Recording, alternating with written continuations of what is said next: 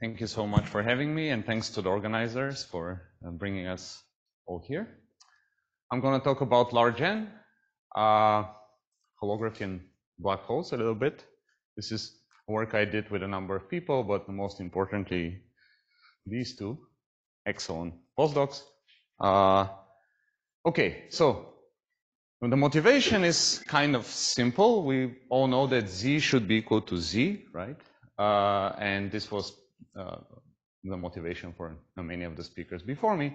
Uh, so the whole idea of the talk is to kind of explore Z equal to Z in the context where the Z of the CFT with some sources can be computed exactly by supersymmetric localization and exploit this in the large N limit to try to learn something about the other Z.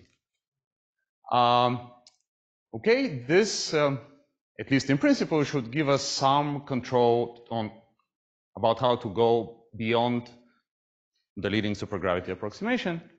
Uh, and maybe learn about ADS and vacua with fluxes, and maybe learn about black holes. Okay, so all of this is very broad. In this talk, I'm to focus on, uh, sorry, for some reason there's this thing. Uh, I'm not sure why. The, the bottom of the screen shows. But anyway, uh, in, in this talk, I'm going to focus on 3D CFTs and their ADS4 duals in M theory. Okay? Uh, so that's the plan. I'm going to tell you a little bit about ABJM on S3, and then I'm going to move on to this other partition function, which is some kind of an index, a simpler index uh, than the one Samir was talking about. Uh, and then I will make some comments about holography in black holes, and then I'll explain that all of this is, is not only a feature of ABJM, but it's broadly valid for all examples that I know of, of such CFTs with explicit duals. Okay, ABJM on S3. So what is ABJM? It's a Chern-Simons matter theory uh, of the type that, that we heard about this morning, except that I'm insisting on having some amount of supersymmetry quite a bit of supersymmetry, n equals to 6 or more. Uh, so it, it, it, has an integer n specifying the rank of the gauge group and an integer k um, specifying the Chern-Simons level. It has a specific superpotential, n n equals to 2 notation, and its claim to fame is that it should be describing the low energy physics of NM2 branes in M theory on this space.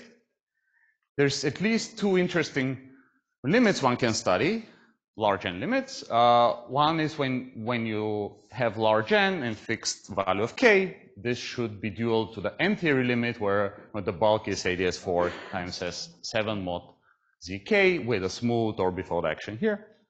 Uh, and then if you scale n and k uh, being large, but the ratio being fixed, you, are, sh you should be into the 2A uh, string theory limit. And this is the map for the string coupling and lambda. Okay, so all of this is should be a review for most of you.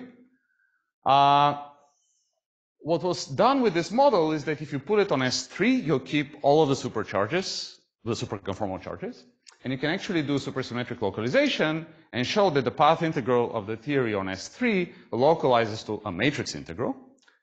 So, and, and it looks like this. And this matrix integral has been analyzed at large n with a variety of tools. I'm not going to give an overview of the tools. Uh, specifically, with this last tool, there's some map to somewhat exotic Fermi gas, which allowed these people to essentially compute this at large n up to non-perturbative terms. And the answer looks like this. Okay? So the path integral at large n has uh, corrections of order e to the minus uh, square root of n, which should mean uh, you know some kind of m2 instantons. But the, the rest of the answer resums into a nice explicit function. So there's an Airy function, and there's this constant uh, c here in terms of the level k, and there's a b which shifts n in a certain way, and there's this order one prefactor which has some explicit form.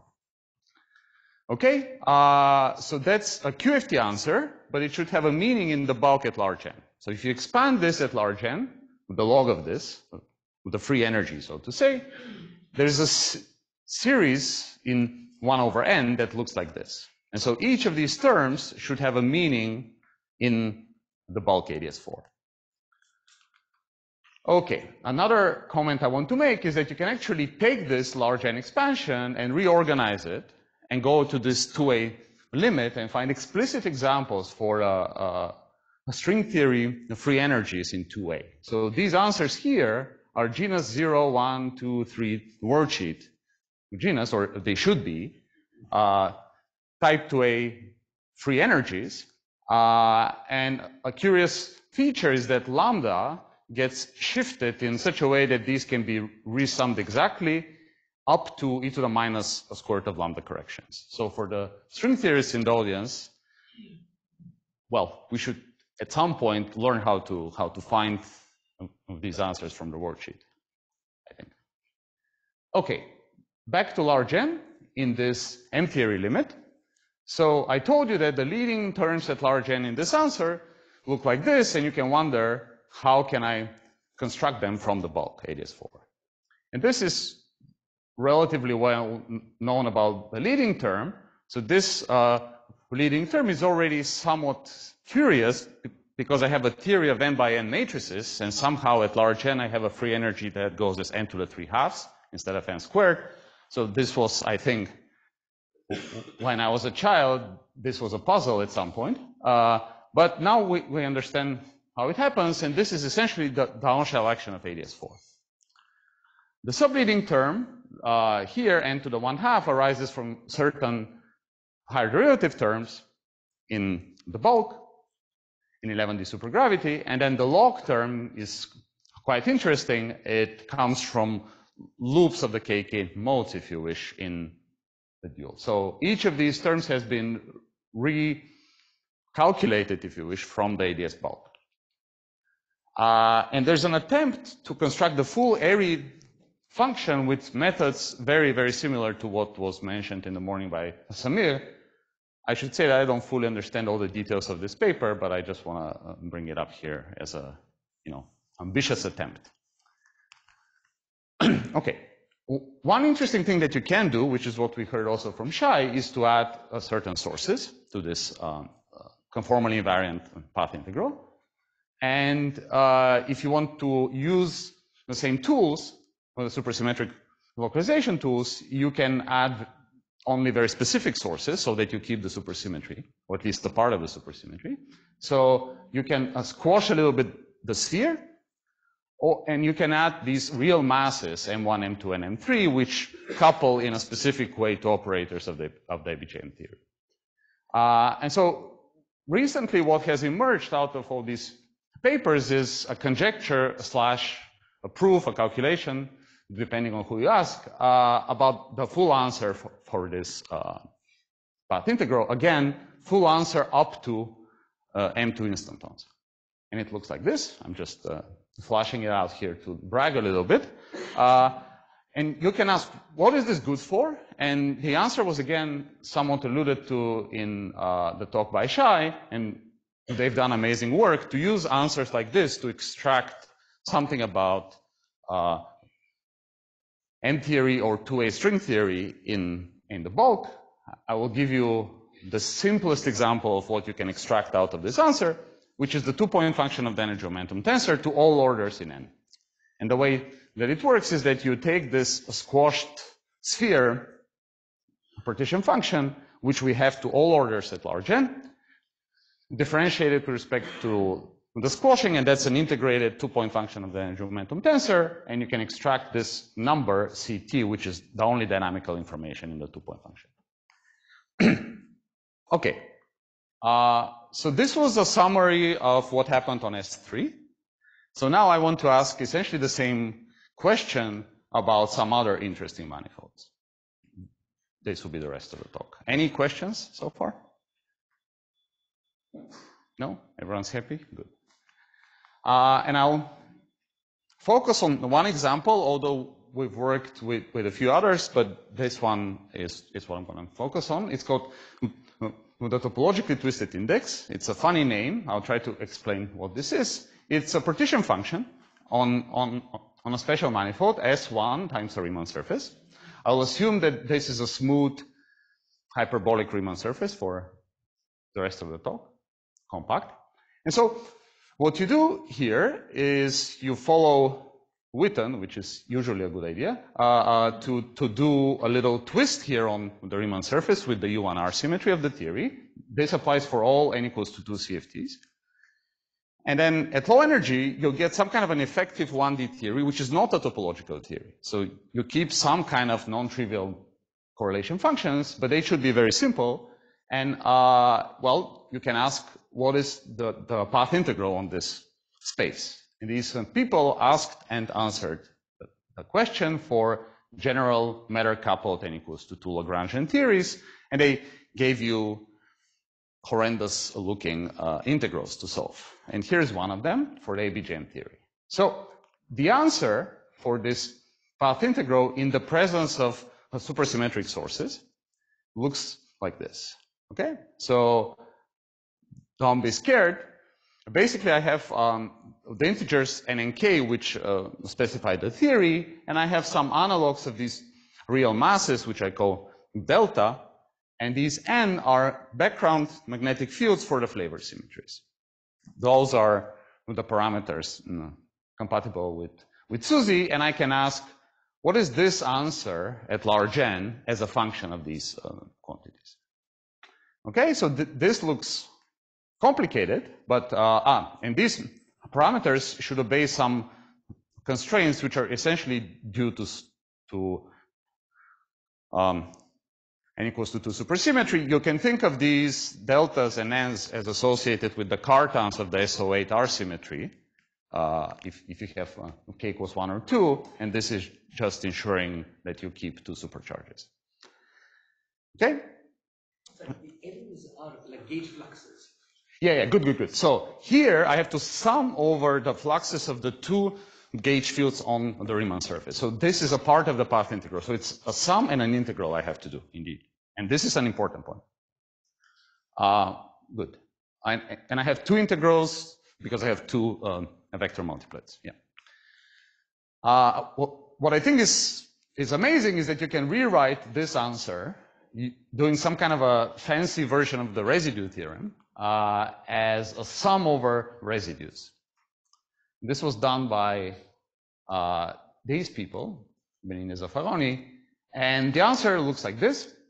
And to find the values at each residue, you have to solve. So the price that you have to pay is that you have a complicated algebraic uh, problem. But after all, this conference is called Gravity from Algebra, and this is an example of that.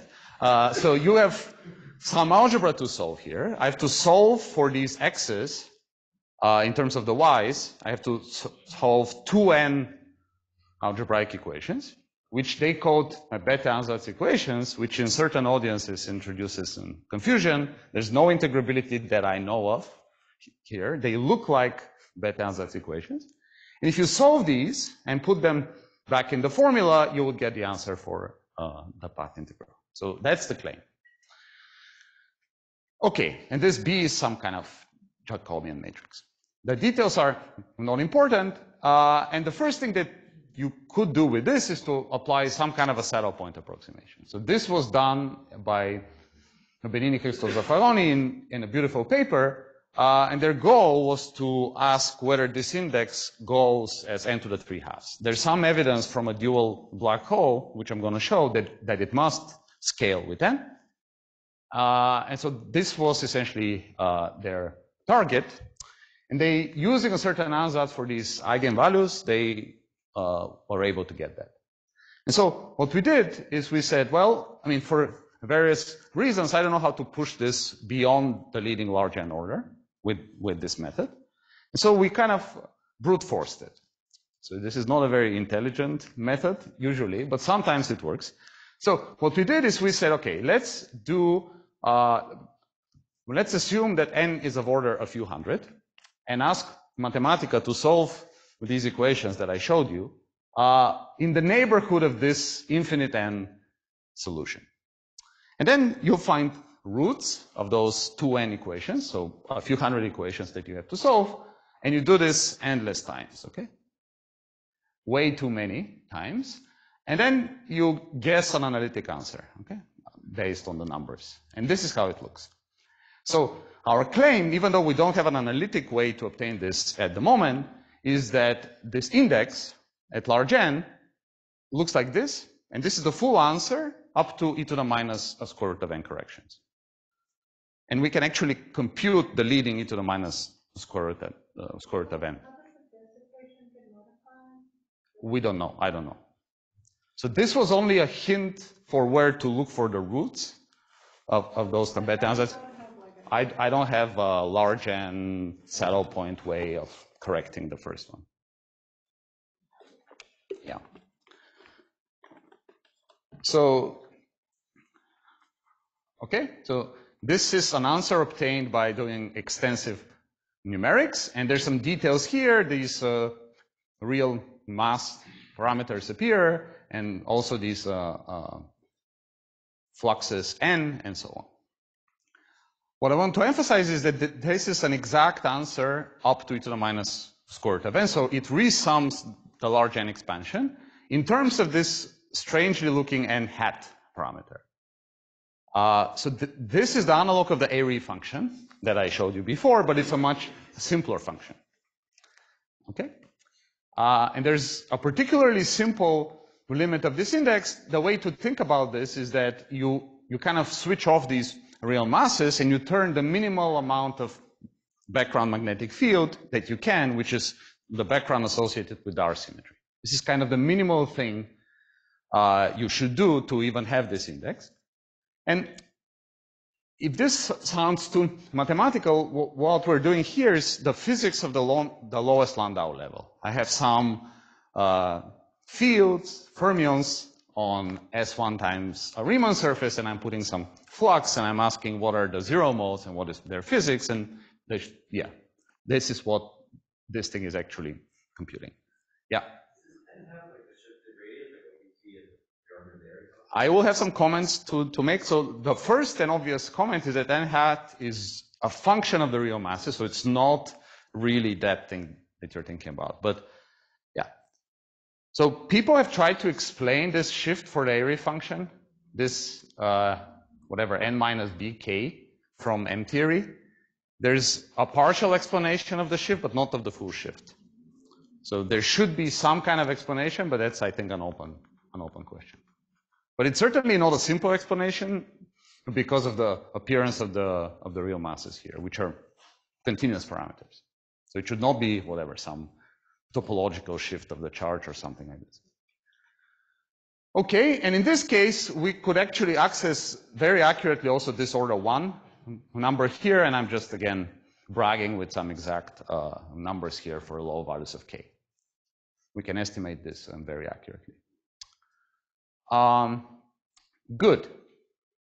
And as I said, this we're pretty certain of this um, formula. Actually, in this case, we push this to even higher values of n to n 500 or so, and we're able to fit the e to the minus uh, square root of n term and compute both the coefficient here in front of the exponent as well as the coefficient in front of e uh, quite accurately, I think. In the string theory limit, similar results enough. There you go. so using this, if you believe what I told you, I can just resum again. I mean, it's, it's not obvious that you can resum this into 2a, at least it was not obvious to us. But there you go. So you, you'll get predictions now for the, the worldsheet free energies with these different boundary conditions now. So before I had ADS4 times S7 or CP3, with a, with a sphere on the boundary. Now I have S1 times the Riemann surface. So that will change the answer. And indeed, if you look at the numbers here, they do change compared to the sphere, but the shift of lambda is exactly the same. So this is again a hint of how the, the, you know, the alpha prime expansion should reorganize in, in, into these models. And if lambda equals zero, you can reproduce this from the free theory? Uh, I, I cannot. Uh, I don't know how to do it from in this, or, or I haven't tried. Uh, for the sphere, people have, have looked at this, yeah. Uh, yeah, Marino, I think, and collaborators. Indeed. Um, okay, So this is essentially some exact or whatever. Uh, yeah. And again, someone in the audience, I hope, can obtain all of this from the worldsheet one day. Good. What is this good for apart from, you know, claiming that you have evaluated something exactly up to instantons? Well, it teaches you, I think, something about black holes. And this example teaches you something about a very specific class of black holes. They're kind of simpler versions of what was uh, mentioned in the morning by Samir because they do not have angular momentum. Okay? So the black holes look like this. So the solutions, I should say, the saddle points, the Euclidean 4D supergravity saddle point looks like this. So it's a Euclidean background. It has some metric function, which is analytically known. There's a choice of a Riemann surface, which should be the horizon if it's a black hole. And there's some free electric charge. So for all values of Q, you have supersymmetry, but the magnetic charge is entirely fixed by the problem. And this is a, a an essentially supergravity analog of the Witten twist, that you lock the magnetic field in terms of the metric. Okay? So this is one of these uh, smooth backgrounds that were mentioned in the morning. They uh, cap off smoothly in the bulk. Uh, and to have that, so you need to ensure that the period of, uh, of, of tau, the S1 on the boundary, has some um, specific form. Good. Uh, and what happens is that the on-shell action of these things is independent of this Q. So for every value of q, you have the same on-shell action. Uh, which is interesting because q going to zero is exactly the limit which allows you to uh, analytically continue this uh, saddle point to Lorentzian signature where you find the extremal magnetic Reissner-Nordström in ADS. Yes? Looks real to me. Uh, yeah. You don't.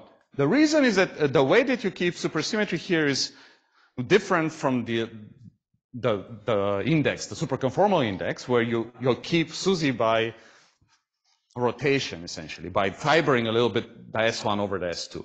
Whereas here I'm doing a twist on part of the space, so it's a it's it's an easier object, I think. But it's still a black hole, you know. Can go and go to the bank, to the black hole bank, and say, I have a black hole, and it is, and it is one. And, and of course, uh, since, you know, uh, the work from 50 years ago or so, we, we know that this on-shell action should be minus the entropy. And uh, so, well, we, we found the entropy of the black hole in this case. I don't have to do a Legendre transform here. I mean, this ensemble where, you know, the magnetic charge is fixed. Okay.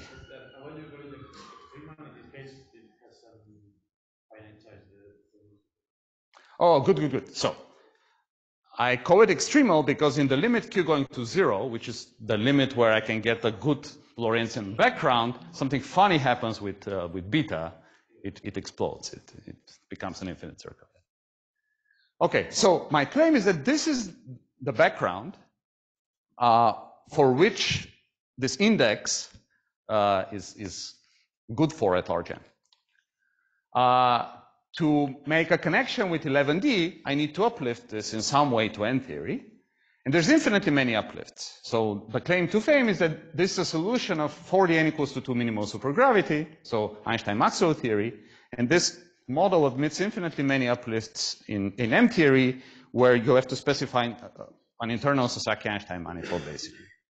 And so one manifold that you can choose is the sphere, and you have to think of it as a U1 bundle over CP3, and then you just shove in here the 4D solution and use the electric field of the 4D solution to determine the, the flux on the internal space. So.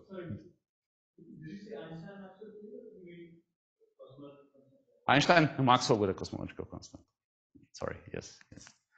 Gauge, I, I did I say, yeah, for the equals to gauge supergravity. And then, yes, I said all adjectives. Good. Uh, uh, so the claim is that we have some index that should, that should be related to the path integral of, of 11D supergravity around this background. And indeed, you can go and do some checks of this of this claim, and they go very much like uh, the ones I told you about. This here, the leading term has to do with somehow with the volume of the internal space, with this on-shell action of the, the two derivative 11D supergravity. The subleading term, the n to the one half term, with some uh, painful analysis that I told some people, some of you last week about, uh, uh, we were able to actually compute. And then the log term, uh, there's a paper that claims to get exactly this number, the coefficient of the log, out of uh, KK modes running in loops. Um, okay, and this is only the tip of the tip of an iceberg, uh, uh, uh, uh because we also have similar results for many other areas, for black holes with scalar fields, vector multiplets, and so on. But what I want to emphasize is that this index that we computed to all orders in n, thanks, uh, should give you should give you an all order. So it should complete this uh, dot dot dot here. And at the moment, I don't have a good idea how to compute or check that in M theory uh, or 11D supergravity. Okay, I have a few more minutes. I just want to tell you that none of what I told you is very specific to ABJM you can go and find a list of 3D n equals to 2 or more holographic CFTs with explicitly known bulk duals and, well, run again the same logic for them. And this index looks essentially has exactly the same structure. There's some shifted n. So you don't have to know what these models are. There's some specific internal manifolds that keep less uh, uh, supersymmetry. But the structure of this answer, there's some n, which gets modified by you know, the parameters of the internal space in a certain way. There's an n hat to the 3 half, n hat to the 1 half, a log n, and, a finite piece. And again, all of these are equal up to e to the minus square root of n correction. So this clearly calls for some kind of understanding more um, fundamentally than what we just did. But at the moment, I don't have anything intelligent to say here. Uh, and of course, in each of these examples, there's a bulk black hole of the same kind of uh, Reissner-Nordström type for which this reproduces the entropy. Okay, uh, good, I'm almost done. What I told you about is some kind of exact, up to instantons, uh, large n uh, partition functions of ABJM on two different manifolds, and I told you how this relates to the dual M theory. Uh, and we seem to learn something about the entropy of these black holes, and then all of this extends to other models with smaller amount of supersymmetry. Okay, what's the homework list? Well, it's kind of long. Uh, so one thing that I've already alluded to is that this can be extended to other models, and we're thinking about applying it also to things that are not in M theory, but in 2A or 2B. Uh, it would be very nice to have some kind of analytic understanding of these simple expressions. They really, I mean, they, they, they, really should be derived appropriately, but uh, I don't know how at the moment. Uh, we can do also other uh, indices, specifically this index which was mentioned in, in the morning, the superconformal index. Here, uh, we have to do another limit, what's called the Cardy-like limit. So you take large values of the angular momenta, so the S1 is much smaller than the S2, and in this limit at each order, the, for the first two order in this, in this Cardy-like expansion, we have all order in large n answers for the index. Uh, as Shai asked, it would be nice to understand why we have these very specific shifts of n, what structure in M theory is responsible for that, uh, and in general understand higher derivative terms in, in 11D, which was also mentioned by Shai. I would like to have also some kind of control of the type uh, that Samir mentioned. So he was doing localization in 4D ungauged supergravity. This here is, you know, sounds like a small modification when you add a cosmological constant, but it seems non-trivial to me. Uh, and then, well, I would really like for some kind of OSV type conjecture to exist for asymptotically ADS black holes. Okay, that's all I wanted to say. Thanks.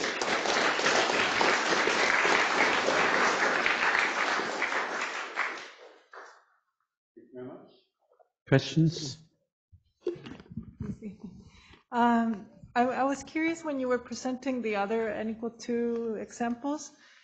All of the log and hat corrections are exactly the same coefficient. Oh, this one, huh? Yeah. Yeah. Why, why is that? You're asking a bulk question or? No, a CFT question. I don't have a good answer for the CFT question. Uh, Is it because of the number supersymmetry or? I don't think so because they have varying Ah, sorry, uh, they number of supercharges. yeah. And it's the same one half. Exactly, so. Yeah, so there's some conjecture that this has to do with the, so the precise coefficient for the, the sphere was one quarter and here is one half. It has to do with the topology of the boundary.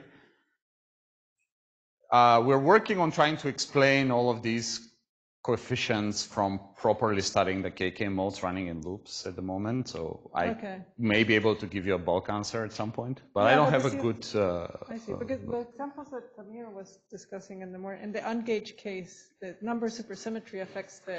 the Yeah, here it's the same number for all uh, all of these. I think the reason is that here the the the black hole. So the theory has more SUSY, but the black hole always have two two supercharges, two Qs and two Ss. No, but, okay, but that, yeah. Uh, yeah, I don't have a better answer than that. Yeah, uh, Shai and Ibu have questions. Do you have results in the ABJM case also for ABJ? So for different ranks of the gauge group? And in particular, I'm curious if you could have any possible interpretation of like a black hole in higher spin gravity then, Yeah, say, I- in that limit? Very good question. We have some numerics, but I don't think we're at the point where we can extract these uh, analytic expressions. But indeed, uh, it's an interesting question whether you can access that machine. I don't know at the moment. So here when you say it's SYM with NF Uh, fundamental, one, one adjoint, I'm sorry. So it's the, the theory which at NF equals to one is exactly ABJM, and at, at higher values of NF, it's some N equals 40. when you say SYM, you mean Chern-Simons? No, no Chern-Simons term. Pure Yang-Mills with one adjo- adjoint and NF um, fundamentals, and this model is known to be, for NF equals to one, to be mirror dual to ABJM at K equals one, but otherwise it's some other theory. Close the IR to a Yeah, yeah. The, the dual is some Z and F orbifold of the sphere with, with a fixed point, and at the fixed point you have NF light uh, hypers basically coming uh, from the fixed point. And the other three theory, but do they have Chern-Simons? Uh, yeah, yeah. So these other ones do, yes. These are like ABJM kind of quivers with some bells and whistles and yeah. What's the hint about uh, the shift of n from uh, Bergman Hirano? I'm not, I'm not sure I understand the question. What I know about the shift of n is this work of uh, Bergman Hirano, where they uh, emphasize that when you compute charges in M theory, you may have to worry about this uh, famous C3 wedge X8 topological term, which is an eight uh, derivative term. Yeah. And that's kind of like a Chern-Simons term, and it affects on the calculation of the charge. So that kind of explains a part of the shift, at least um, for ADS4, empty ADS4, uh, but not the full shift for the array function. And certainly in these examples, because of what I told Shai, I mean, the shift is a continuous uh, function of the real masses. So it should not be explained by simple charge quantization arguments. This thing is a, you know, a real number. So I don't have a good answer. I would like to know. But is, is that a hint that there should be some anomaly polynomial sort of an No, argument? I, in I would say no. I think there's some physics here. This is some kind of renormalization of J Newton that happens in some way, but I don't have anything smarter to say. I don't think it's anomalies.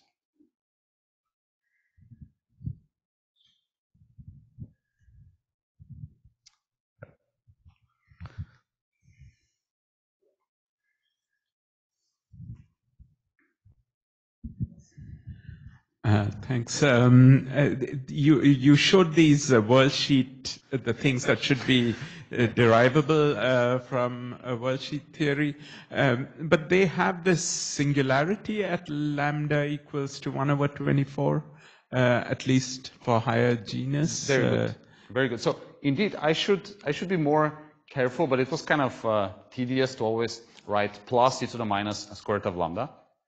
So Marcos Mariño and uh, Pavel Putrov and collaborators have actually analyzed, at least for the sphere, not for this index. So to be more specific, uh, these quantities uh, have been computed, at least the first two, taking into account the e to the minus um, square root of lambda correction, and then you don't see anything special happen here. So these corrections are order one at this value of lambda, and they correct, and you get a finite So answer. So there's no pole or There's no issue with the, with the answer. So the, the thing that you mentioned is just an artifact from a large lambda-like expansion resummed. Yeah. So, but yeah, very good question. In, in that case, there's connection between this matrix model and a topological string on a P1 times P1. I have no idea why there should be a connection like this. Uh, there may always be some topological s- string computing these things, but I'm not sure.